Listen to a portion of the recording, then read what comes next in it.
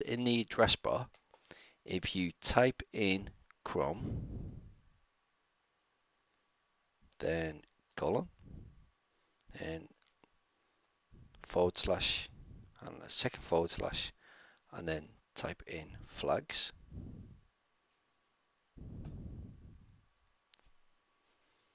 And then from the search box at the top, if you just type in dark,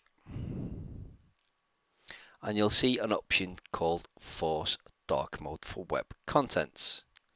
So this is the one that we want to edit.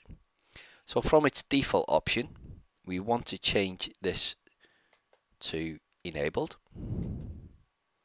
And you'll see you get a button on the bottom right of the Chrome browser which prompts you to relaunch. That's because when you make changes via Chrome flags in Chrome, you have to relaunch your browser for those changes to take effect. You can see dark mode has been enabled. Bye bye.